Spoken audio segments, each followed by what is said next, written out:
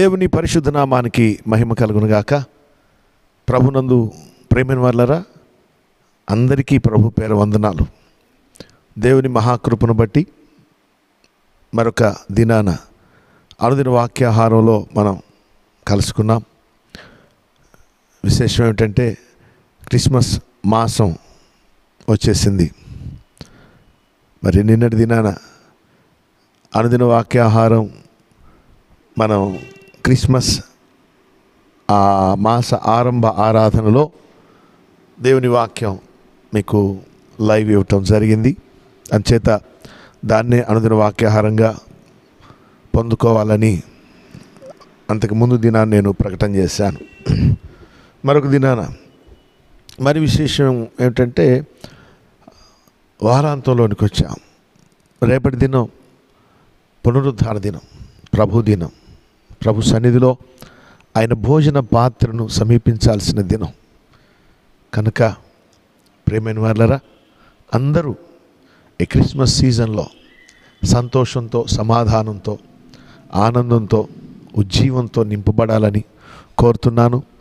మరి విశేషించి మనకు సంతోషం ఎప్పుడు కలుగుతుందంటే పరిశుద్ధ జీవితం కలిగినప్పుడు మనకు సంతోషం కలుగుతుంది.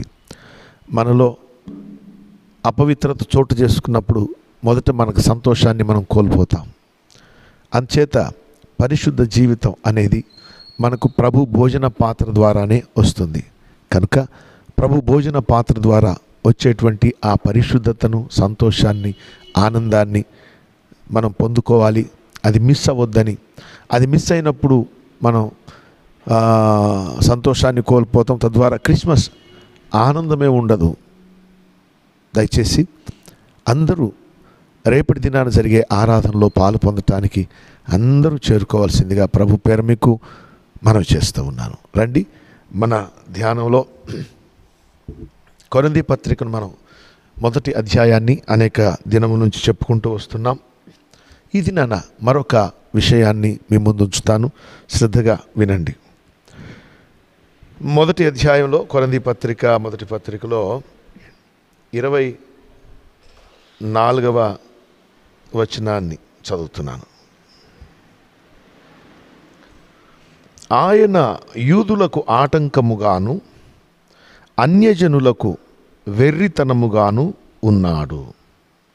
కానీ యూదులకేమి గ్రీసు దేశస్థులకేమి పిలువబడిన వారికే క్రీస్తు దేవుని శక్తియు దేవుని జ్ఞానమునై ఉన్నాడు. ప్రభునందు ప్రేమైన వార్లరా చదవబడిన ఈ వాక్య భాగంలో ఒక చిన్న తలంపును మీతో పంచుకుంటాను. శ్రద్ధగా ఈ మాటను మనం చూద్దాం. యూదులకు ఆయన ఆటంకముగాను అన్యజనులకు వెర్రితనంగా ఉన్నాడు. వెర్రితనంగా ఉన్నాడు. అయితే యూదులేమి గ్రీసు దేశస్థులేమి? పిలువబడిన వారికే క్రీస్తు దేవుని శక్తియు దేవుని జ్ఞానమునై ఉన్నాడు. సిలువను గూర్చిన వార్తను రక్షించబడుతున్న వారికి దేవుని శక్తి అనే విషయాన్ని జ్ఞాపకం చేశాను. ఈ సిలువను గూర్చిన వార్త రక్షింపబడుచున్నవారు వారికి దేవుని శక్తి. రక్షింపబడుచున్న వారెవరు అంటే పిలవబడిన వారు పిలువబడిన వారికే అంటే వారికి మాత్రమే వారికి మాత్రమే దేవుని శక్తి దేవుని జ్ఞానమునై ఉన్నాడు.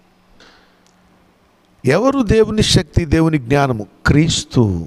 క్రీస్తు దేవుని శక్తియు దేవుని జ్ఞానమునై ఉన్నాడు. దేవుని బిడ్డలారా ఇక్కడ యూదులకు ఆటంకం. యూదులకేమో ఆటంకం. దేనికి ఆటంకం? ఆటంకము అంటే అడ్డు అవరోధము. వీరికి యూదులకు ఎట్లా అడ్డమయ్యాడు ఈ మాట ప్రవక్త ప్రవచించాడు. ఆయన యూదులకు ఆటంకముగాను అన్యజనులకు వెర్రితనంగా. యూదులకు ఆటంకం అనే మాట ప్రవక్త చెప్పినాడు ముందే. దేవుని బిడ్డలరా యూదులకు ఆటంకం అంటే ఏ విషయంలో ఈయన ఆటంకమయ్యాడు ఏ విషయంలో అడ్డయ్యాడు ఏ విషయంలో అవరోధం అయ్యాడు ఎక్కడ? గమనించండి యూదులు వారి యొక్క విశ్వాసము యూదులు వారి యొక్క విశ్వాసాన్ని కొనసాగించడానికి యేసుక్రీస్తు ప్రభు వారు అడ్డయ్యారు. తద్వారా వారు రక్షించబడలేకపోతున్నారు. ధర్మశాస్త్ర సంబంధమైనటువంటి క్రియలు ఆ విశ్వాసము ధర్మశాస్త్రము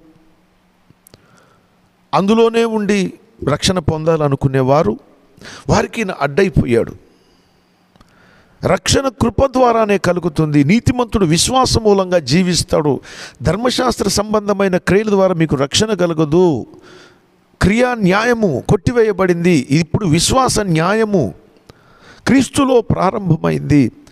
అతిశయ కారణము కొట్టివేయబడింది. క్రియా న్యాయమును బట్టి కాదు విశ్వాస న్యాయమును బట్టి.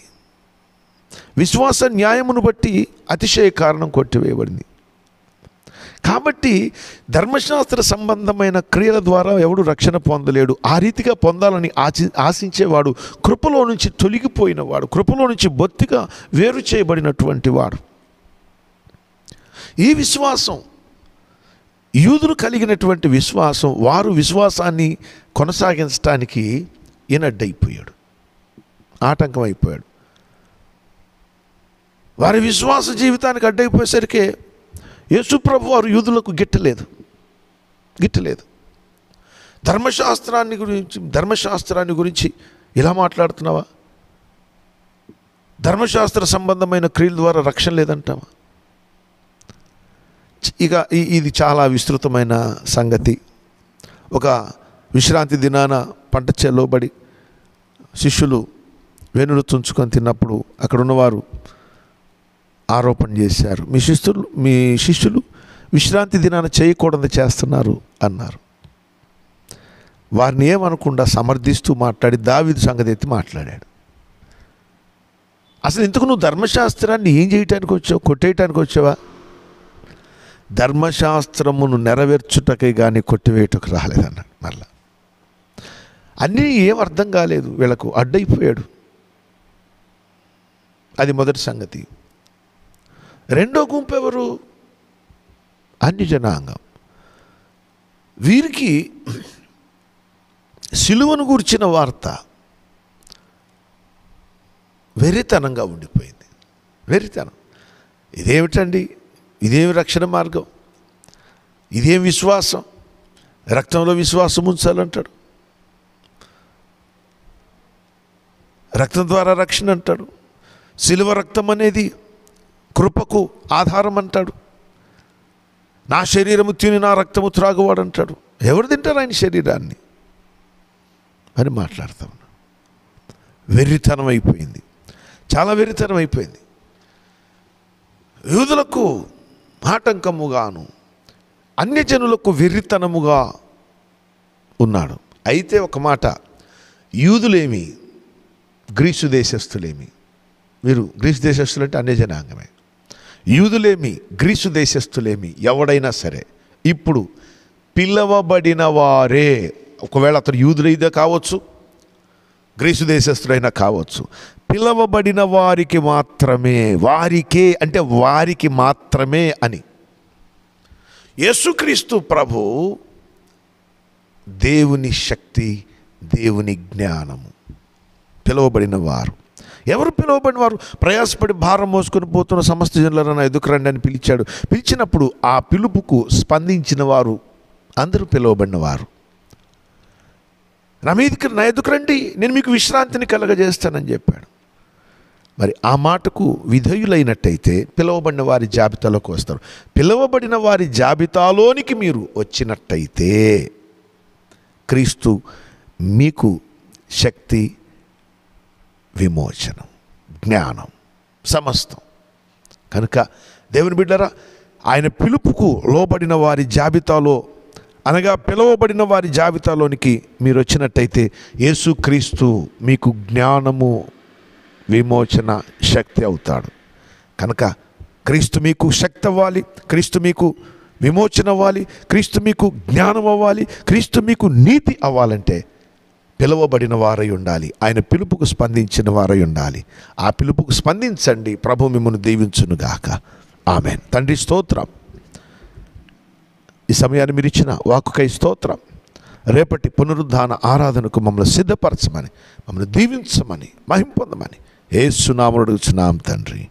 ఆమె తండ్రి కుమార పరిశుద్ధాత్మ త్రేక దేవుని దీవెన సదా తోడి నడిపించునుగాక ఆమెన్.